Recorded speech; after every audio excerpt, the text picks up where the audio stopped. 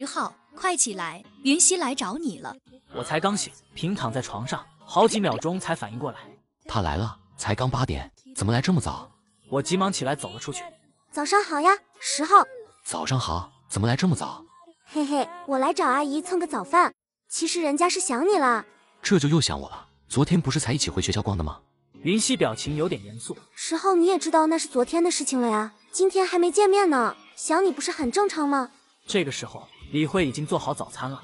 十号啊，还愣在那干嘛呢？洗脸刷牙去，早饭快做好了，别让人小溪等着你呀。知道了吗？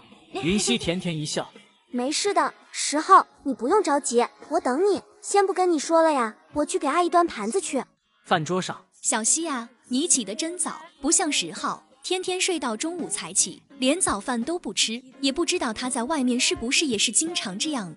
啊，大假期的也没什么事，我起那么早干嘛？这才不到两天，就怎么看我怎么不顺眼了。在家待着吧，他嫌你一天天的都闷在家里，你出去玩吧，他觉得你整天整天的不见人。总之就是刚回来的时候你哪哪都好，放个屁都是香的。超过二十四小时，这孩子回家的滤镜就消失了。哎，真难。听到我挨数落，云溪连忙解释：没有没有，十号平时也起得很早的，他在学校课比较多，比较累，所以回到家才想休息休息吧。十号，我说的对吧？嗯，我一愣，随即点了点头。嗯，对，你说的都对。云溪笑了，明亮的眼睛眯成了弯弯的小月牙，十分好看。妈妈看了看自家儿子，又看了看云溪，眼神微妙。这小丫头还怪维护咱儿子的呢。妈，我吃完了。小溪，我带你玩玩游戏，去不去？去去去。阿姨，那我跟十号玩游戏去了。嗯，你们去吧。我和云溪进屋后，爸妈便开始各自分工做着家务。嗯，今天还有人要来家里吗？开门的那一瞬间，我爸愣了一下，只见门口站着一个中年妇女和一个年轻一点的男人。舅舅，丽叔，三姐，你们怎么来了？是的，来人是他许久未见的姐姐十方。三姐十几年前嫁到隔壁市里，即使距离根本不远，开车也就几个小时的路程，她也已经十几年没回家看一看了。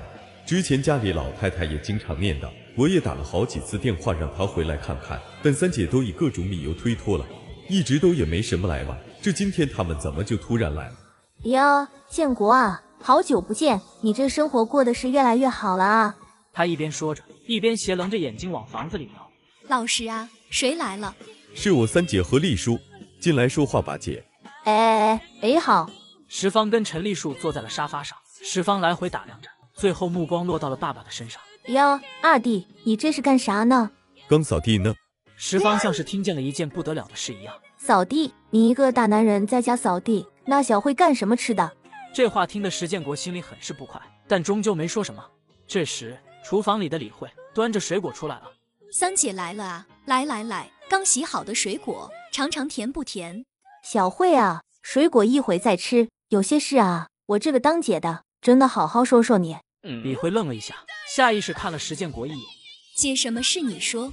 建国是个男人，顶天立地的男人，男人的手是用来打拼事业的，不是用来干家务活的。你一个妇道人家，怎么能让他做这些事呢？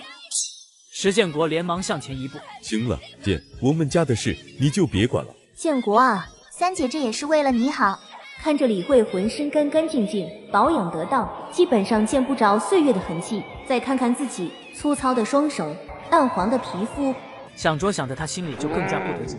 你看你在外面累死累活挣钱，回到家还得管家里这些琐事。你娶的这个媳妇儿倒好，一大把年纪了，还跟个少奶奶一样。本想发作的李慧看了一眼石建国，叹了口气，转身离开了客厅。石建国也气得不行。三姐，你少说两句吧，你直接说吧。这次带丽叔过来有啥事？那么久都没联系了，之前打电话叫回家看看老妈也不回，这次又没打招呼，突然过来，不是不登三宝殿，我就不信这两人是单纯来叙旧的。听到陈建国的话，石方和自家儿子李丽书对视一眼，讪讪的笑了笑。建国啊，姐这次来找你呀。还确实是有事想要你帮个忙。